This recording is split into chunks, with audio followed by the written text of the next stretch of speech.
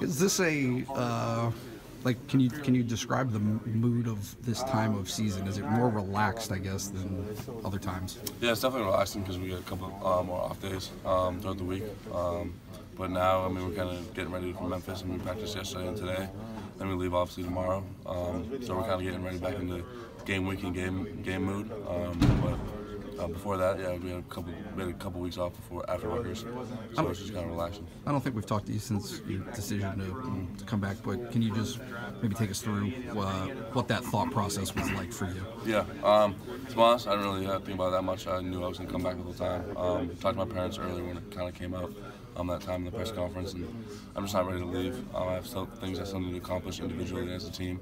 Um, and I'm just, like Coach said today, I, someone told me that I have to live by myself in the city, and yeah, I'm good with that. Um, so I still need to, I want to see with my friends and, and still experience college. So. Did did you get any feedback? Like, did they provide for you? Do you have any gauge of where you might have gone this year? Had you- Yeah, I was anywhere from like late second to like early third. Um, and my goal ever since I started playing football was to become a first rounder or as close to that as possible. And I still have things I need to develop and, and uh, develop my craft. On. So there's a lot of opportunity for growth, and I just I'm staying made the most sense. How far do you feel like you are from that?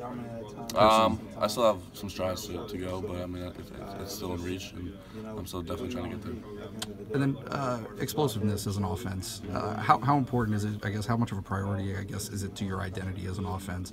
And then where do you feel like you guys uh, met or didn't meet those goals this year? Yeah, I think um, being explosive is probably our number one identity. Um, trying to make explosive plays and get the ball on the field and stretch the field and long and explosive runs and, and passes. And I think at times we did that, uh, but I think at times we also didn't do that.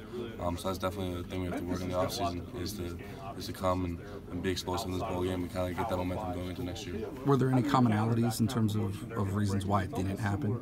Um, probably just execution, uh, just paying attention to detail. Um, we definitely just didn't, at certain times in games, we kind of hit those lows like you guys saw. And I think it was either a combination of we got up so fast that we're like kind of took a step back off the gas pedal and relax, um, which is something we can't do to um, continue to, to attack uh, downfield and all that. Um, but um, if we continue to watch the film and watch that execution and stuff like that, I think we'll be able to handle our business and create more explosive plays. Thanks. What did you feel like you